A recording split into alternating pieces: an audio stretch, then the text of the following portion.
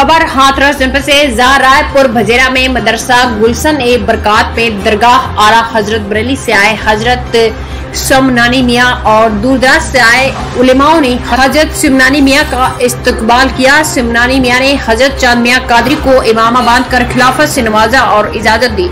स्थानीय लोगों ने व मदरसे के बच्चों ने ज़ोर ज़ोर से नारे लगाकर हज़रत का इस्तकबाल किया। दरगाह आला हज़रत बरेली से आए हज़रत ने लोगों को हिदायत दी और कोरोना महामारी एहतियात बरतने के लिए और अपने बच्चों को पढ़ाने के लिए लोगों को जागरूक किया।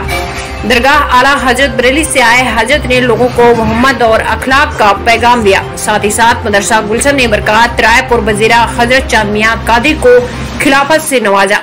हाथरस जनपद से मोहम्मद ताहिर की रिपोर्ट। मोबाइल हटवाइए मोबाइल हटवाइए। मोबाइल मोबाइल मोबाइल हटा लो मोबाइल हटा लो निकलने तो होए।